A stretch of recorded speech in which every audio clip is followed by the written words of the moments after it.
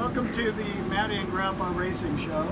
We're out here at Willow Springs Raceway for uh, the Rare Races. And how, how's it been so far, Maddy? There have been a lot of fast guys out here? Well, I've been the fastest girl. You've been the fastest girl, yeah. I just was in first place. You were? Wow, that's fantastic. That, that's a great finish. And so how long have you been racing? Six years. Six years.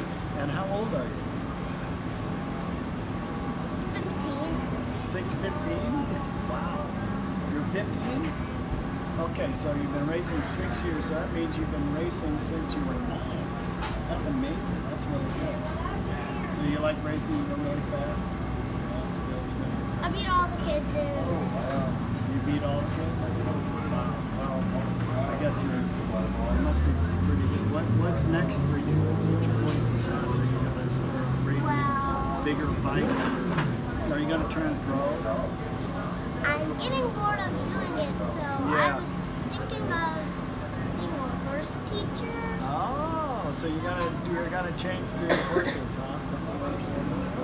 That's, that's a good step. Well, all right. Well, it's been a pleasure meeting you, Maddy, at the racetrack. I'm interviewing you, and I'm glad that you won. That's fantastic. I wish I had won. I had Did you see me race? What? I was in front. I can't even see people. Because you're in front, you can't see everybody because you're always in front.